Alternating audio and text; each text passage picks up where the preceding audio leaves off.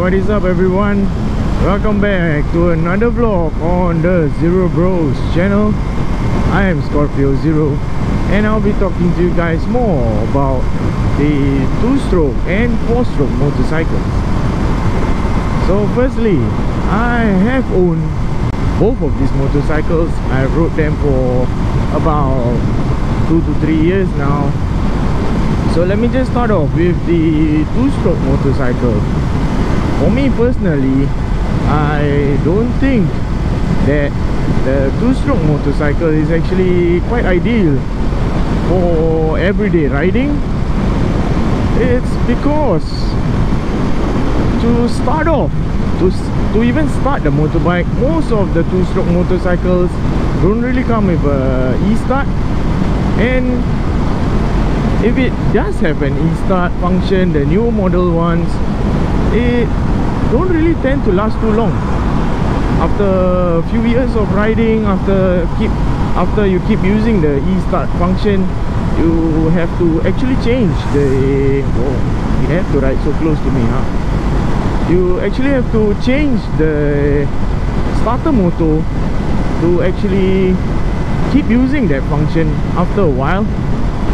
And if it doesn't have a e-start function then it's a horrible kicking session especially in the mornings or cold weather or even if you haven't started the bike for quite some time you would actually spend quite some time kicking the bike. And it's a workout I would say. To even just starting up your bike to ride it. And why do I say either in the starting of the bike is not really too ideal for day-to-day -day use. Another pointer is actually the refueling part. Uh, the refueling part of a two-stroke motorcycle is also a hassle as as you need to use like these 2T additives to be add on to your petrol. Some bikes do have the 2T pump to mix it mix it together with the petrol on the bike itself. And if you don't have uh, a 2T pump on your bike or 2T tank 2T pump yeah something like that then you actually have to to put the 2T additives into the into the fuel tank and then check the bike before you move off. The worst hassle I would say about these 2T additives is that if you don't have the pump then you have to actually bring like a measuring bottle. Yes you have actually this measuring bottle. If you don't then um, some people would actually use like a, a small bottle just enough for them to gauge some milk bottles and such 50 ml and and all to roughly gauge how much 2T additives you need to put per liter of petrol for my bike is actually about 5 ml per liter. So the fuel tank is about 3 3 liter 4 liters plus. So every time is about just about 20 20 ml of 2T additives to be add on for top up on fuel on that bike. So aside from bringing the 2T bottle all around and the measuring bottle as well and doing chemistry lessons at the petrol stations and also the hassle of kick-starting the bike every morning um, cardio session before riding off. Aside from these two pointers the inspections. Right now with the CO2 emission restrictions and all that to even bring your bike or two-stroke bike for inspection is a hassle as well as the two-stroke motorcycle emits more white smoke.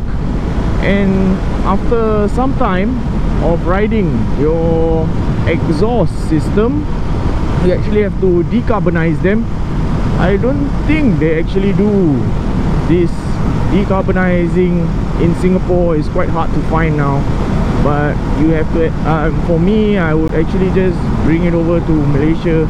Most of the workshops there would would be would love to do your bike. The decarbonizing and of course uh, charge you a hefty price for it as well.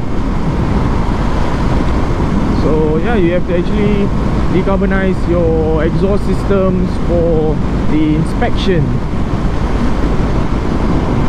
so the four-stroke motorcycle I mean the design of it is meant for day-to-day -day use riding and, and such. You don't have to bring along 2T water bottle. Most of the four-stroke bike has the e-start functions. But if you were to talk about performance wise the two-stroke engine actually is so much more lighter. Most of the two-stroke bikes are actually very very light compared to a four-stroke four-stroke um, engine. And talking about performance wise I would say if you can actually control the power band of a two-stroke engine then the power of it is actually really good the pickup and such and if you were to talk about different kind of riding not road riding maybe into the off-road categories then the two-stroke motorcycle has an has a upper upper hand on a four-stroke motorcycle in terms of if you're riding on the off-road terrain then to actually to actually climb a very steep hill and such you would you would actually feel the difference riding a two-stroke bike and a four-stroke bike. The KTM or Husqvarna or any other type of dirt bikes. For me I actually ride uh, both two-stroke and four-stroke on the off-road category of bikes. And as much as I love the four-stroke engine as it's easier for me to control the bike not so much power band here and there and if you actually haven't tuned your two-stroke engine or rejet it then your power band goes all over the damn place. Okay it took some time to overtake me there. And the two-stroke yes I was speaking. The two-stroke engine if you were to tune it and rejet it to a setting which you want to then the power of it is just madness. The pickup of it the climbing of um, the steep slopes in off-roading or trail riding is a lot more fun. And I guess right now the two-stroke category of bikes are slowly phasing out. Unless you're riding dirt then you still have like the 200 or 300 two-stroke motorcycles. And the two-stroke motorcycles or the two-stroke engine of bikes is actually more of fun riding I would say. I don't know about road riding so much on a two-stroke bike although back when I just passed my license most people would actually go for a Yamaha RXZ or a Kawasaki KR mostly it's about 1 150cc around there and they will start to like big bore mod here mod there and such.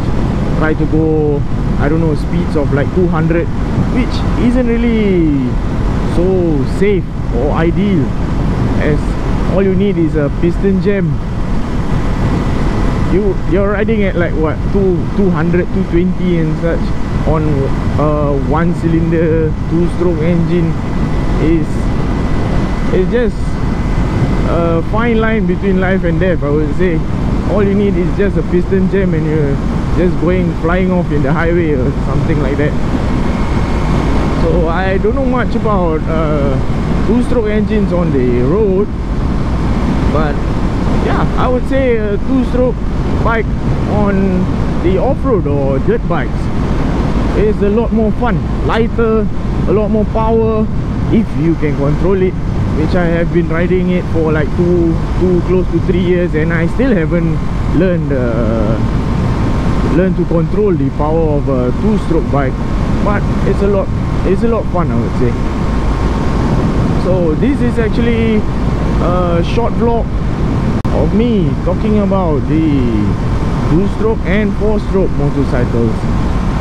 Hopefully at the end of the video I will actually give a little teaser or sneak peek of my two-stroke motorcycle and then you'll get to know the new topics or the different kind of riding which we will be doing me as well as X X0 we will be showing you guys a different kind of riding on the Zero Bros channel. So if you like the video please don't forget to press the like button subscribe to the channel. If you have any comments about my horrible commentary skills please also drop a comment. So and don't forget to also follow our facebook and instagram page zero bros motovlog always remember to ride safe. And hopefully the Wuhan the coronavirus conditions don't go up to code red. So everyone can go to work and school peacefully. So this is Scorpio Zero signing off peace